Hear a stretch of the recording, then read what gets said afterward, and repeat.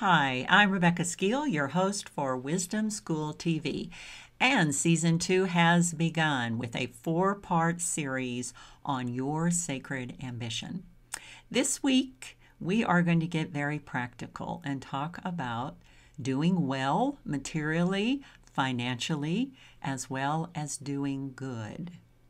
You know, when we live our life from that sacred call, that uh, bigger reality inside of ourself where we want to make a big impact, perhaps on the world, or maybe in our community, or um, in our families.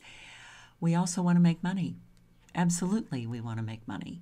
So, what does our energy have to do with making money? Well, I'd like to suggest it has everything to do with it.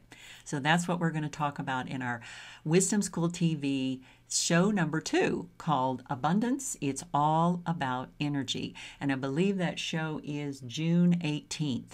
These Wisdom School TV shows are only 30 minutes long, so you can bring your lunch, your cup of coffee, your tea, your dinner, whatever and join me, be on the chat. Let's have a dialogue. This is interactive, but it's also inspiring and thought provoking.